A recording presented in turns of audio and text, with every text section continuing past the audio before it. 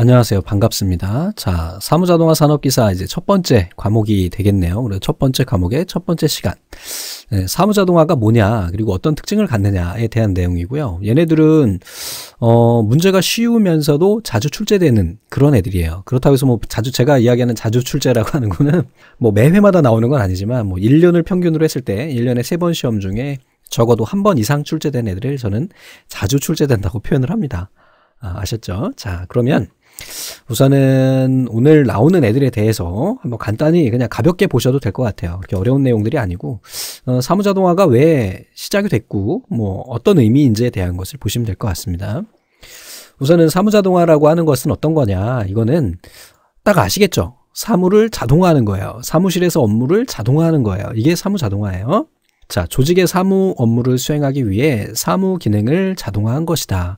컴퓨터 기술하고 통신 기술, 그 다음에 시스템 과학, 행동 과학을 적용해서 사무의 생산성을 높이는 일이다. 그래서 얘는 이제 요 아래 쪽에 보시면은 이제 지스맨이라고 하는 허가가 있어요. 그래서 이 허가가 정의한 에? 그런 사무 자동화에 대한 정의입니다. 요 지스만이라는 허가는 한 2년에 한 번, 3년에 한 번 정도 출제되는 그런 허가니까 기억 좀 해주세요. 오빠일 수도 있겠다, 그지? 음. 자, 사무 근로자의 생산성을 높이기 위해서 그들이 사용하는 장비에 수행하는 업무를 통합시키는 거다. 그래서 결국은 사무 업무를 하는 데 있어서 기계를 이용을 하게 되고, 그 다음에 사회과학, 행동과학, 뭐 이런 것들을 추가해서 하는 것이 결국은 사무 자동화다. 그리고 전사적 장기적 관점에서 사무 생산성 향상과 창조적 인간 능력을 개선하는 것이 광의적인 사무 자동화의 정의가 된다 이거죠. 전사적이라고 하는 거는 전체 회사의 그런 내용이 되는 겁니다. 그래서 어떤 시스템 이렇게 하면 그 회사를 이야기하는 거고 그 회사의 전사적인 하면 그 전체 회사를 이야기하는 거예요. 전체 회사의 시스템을 이야기하는 게 전사적이다라는 거예요. 계속해서 이제 자주 나오는 용어이기 때문에 말씀드립니다. 자, 기존의 자리 처리 기술로는 다루기 어렵고 자유 양이 많아가지고 명확하지 않은 사무 업무에 대해서 컴퓨터 기술, 통신기술, 시스템, 행동과학을 적용한 학문이다. 누가 이겼다고요? 지스만 오빠가 했어요.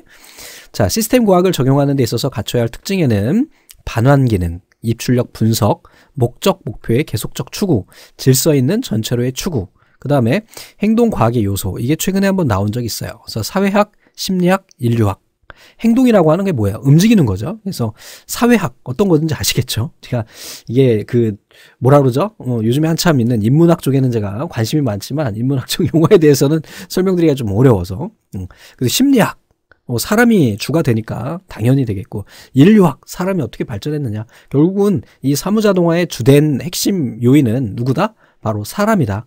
그리고 이 사람을 이용을 해서 어, 뭐예요? 사람을 기반으로 해서 통신 기술, 컴퓨터 기술, 시스템 과학, 행동 과학을 적용한 것이 뭐다? 네, 바로 사무 자동화다라는 이야기죠. 자, 요게 나오는 애들도 간단히 요, 요 화면에 있는 얘네가 이제 시험 문제에 나오는 애들이니까 기억해 주시기 바랍니다. 자, 사무 자동화 ABCD 얘는 한 5년에 한 번 정도 출제되는 어, 비율을 갖고 있어요. 그래서 뭐 굉장히 쉽죠. A는 automatic office, 어? B는 business machine, communication system, data processing system 네 개이기 때문에 문제 내기가 참 좋습니다. 다음 중 사무자동화의 ABCD에 해당하지 않는 것은 이렇게 나오고요. ABCD는 다 나오는데 예를 들어서 data processing이 아니라 data communication system이라든지 뭐 이런 식으로 좀 바꿔가지고 출제가 되니까 어, 확인을 좀 해주시길 바랍니다. 사무자동화가 등장한 배경 요인에는 뭐가 있을까? 우선은 어, 크게 두 가지로 나눠요. 사회적인 것과 그 다음에 기술적인 거. 어, 그래서 우선은 사회적인 요인에는 정보화 사회에 출현이 있었던 거죠. 그래서 사무실에서 처리할 정보의 양이 또 많아졌어요. 그리고 또 다양해졌어요. 그리고 또 사람들이 공부를 많이 해. 그리고 나이도 많아져. 그리고 또 인구가 줄어들어요. 그 다음에 연령 분포가 다양해지고요. 교육 연수의 변화가 있기 때문에 우리가 사회적으로 이런 문제가 있기 때문에 사무자동화가 등장을 하게 된 거죠. 사무 관리의 질적인 효율성이 필요하고 사무 업무에 대해서 기존 의식의 변화가 있고 정보 산업으로서의 발전 및 확대가 된다. 다음에 이번에는 이제 경제적인 요인이에요. 기술적인 요인은 요 아래 있고, 자, 경제적이라는 거는 우선은 최대 이익을 추구하기 위해서 정보의 최대 활용이 요구되는 경제 환경이 변화됐어요. 돈을 많이 벌기 위해서 대기업이 나오게 된 거야. 그지? 사무 부분의 비용의 증가, 인건비나 사무실 운영비, 문서 작성비, 보관비 등이 증가했어요. 그럼 당연히 그냥 쉽게 간단히 이야기해서, 어, 뭐 이거는 좀 그렇습니다만, 어, 좀 좋은 얘기는 아니에요. 그러니까 뭐 사무 자동화를 인해서 이, 에, 이용을 해가지고 어, 인력을 좀 효율적으로 운영을 해서 인건비를 줄일 수 있다면 혹은 사무실의 평수를 줄일 수 있다면 좋은 거죠. 그치? 어, 네, 궁극적인 목적은 아니에요. 이게 시험 문제 나오기 때문에 헷갈릴 수 있어서 말씀드리는데, 궁극적으로 인건비를 줄이는 게 목표는 아닙니다. 사무자동화에서. 왜? 그러면 안 되죠. 그죠?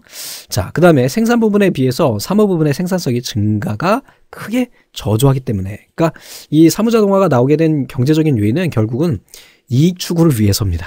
예? 가장 궁극적인 목적은 자, 기술적인 요인. 음, 우선은 하드웨어 기술이 발전하다 보니까 옛날엔 인터넷이라는 게 없었잖아요. 그제 컴퓨터 성능도 떨어졌어요. 근데 예전에 타자기를 쳤다고? 그러면 예를 들면은 제가 고등학교 때, 중학교 때 저희 누님들이 상고를 다녔거든요. 그때 타자기를 많이 쳤어요. 음? 그때만 해도 아 이런 게 뽀록이 나는데 나이가 뭐 그렇진 않습니다. 그렇게 많이 먹진 않았지만 그랬었는데 어느 순간 컴퓨터로 바뀌었죠. 그지? 자, 소프트웨어 기술의 발전.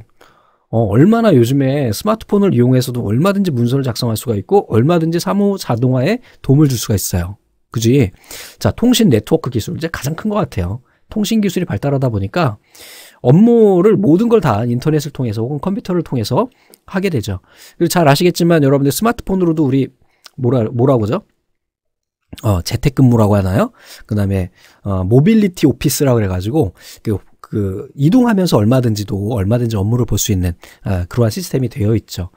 자, 요런 것들 때문에 우리가, 음, 거시기가 된다. 그래서 시험은 크게 두 가지가 나와요. 그러니까 여기에 나오는 이제 경제적인 요인은 잘 안 나옵니다. 그 이유는 좀 전에 이야기 드린 것처럼, 어, 사람이 중심인데, 결국은 경제적인 요인에 들어가 버리면, 인건비를 줄여야 되는 문제가 생기게 되잖아요. 그래서 잘 안 나오고 크게 이제 기술적인 요인과 사회적인 요인 두 가지를 구분하는 것이 시험 문제에 종종 출제가 됩니다. 자, 사무자동화의 특징하고 주요 기능이에요. 특징은 사무자동화는 사용자 중심이어야 되고, 그쵸? 사용자, 사람.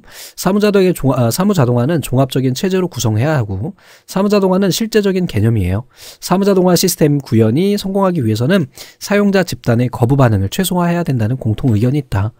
뭐냐면 야 이번에 우리 야 슈퍼 고성능 컴퓨터 하나 갖다 놓자.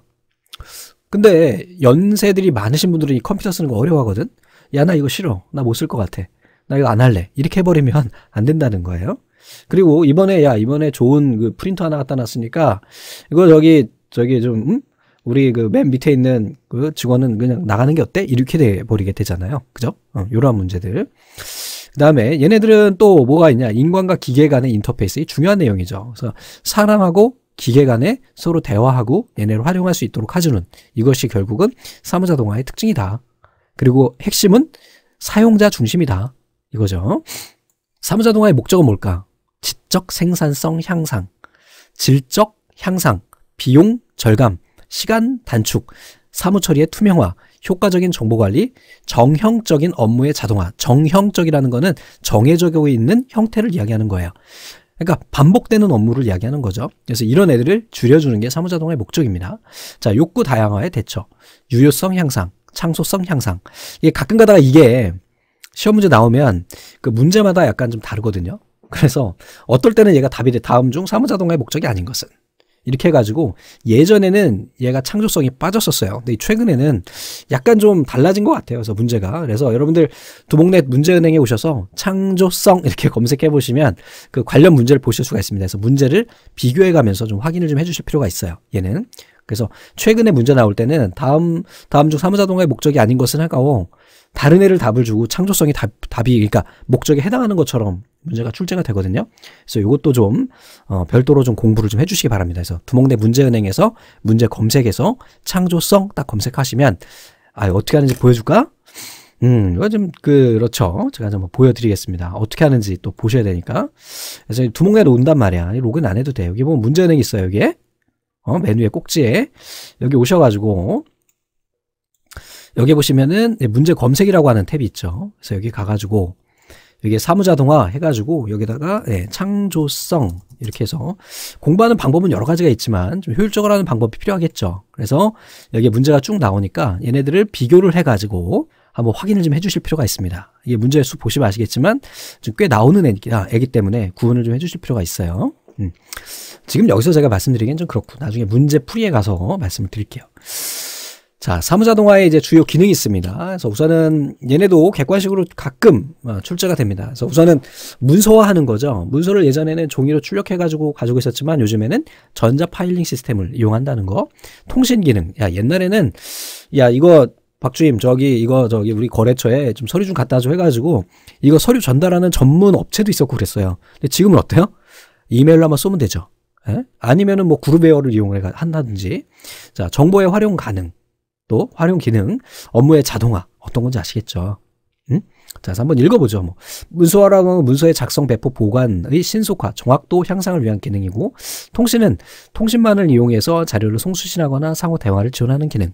또 정보의 활용 기능에는 문자, 음성, 화상 정보 등의 다양한 정보를 활용하는 기능이고, 업무의 자동화 기능은 문서의 기능, 통신 기능, 정보 활용 기능을 유기적으로 결합시키는 기능을 이야기한대요.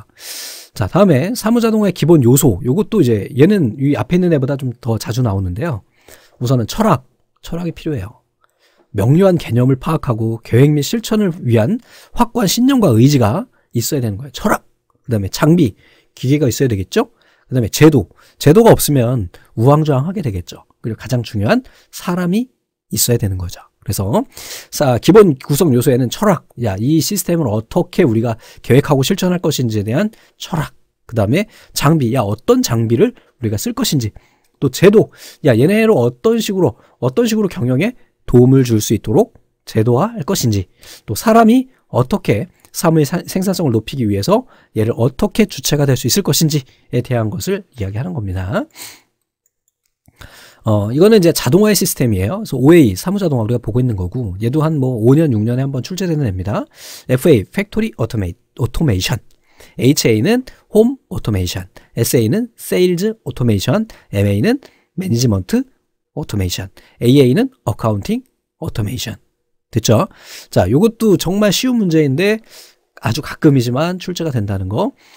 자, 사무자동화의 최종 목적은 뭐냐? 네, 사무 부분의 지적 생산성 향상에 있다.